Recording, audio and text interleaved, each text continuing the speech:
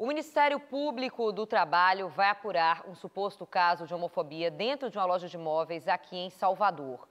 O influenciador digital, conhecido como Baiano, denunciou em suas redes sociais que sofreu crime de homofobia, além de ter sido agredido fisicamente, segundo ele, pelo gerente da loja de imóveis que fica na orla da capital, local onde ele trabalha. Ele disse que trabalha no local há 14 anos, na empresa Jacaúna, e que nos últimos cinco passou a sofrer constantes ataques homofóbicos por parte do gerente. Segundo ele, chegou a sofrer também agressões físicas.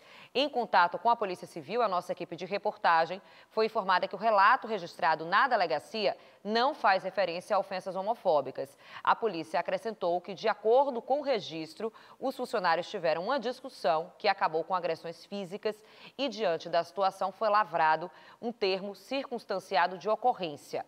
Procuramos, então, a empresa, a empresa Jacaúna, em nota publicada nas redes sociais. A Jacaúna se posicionou sobre o caso, informando que a empresa não compactua com preconceitos e discriminação.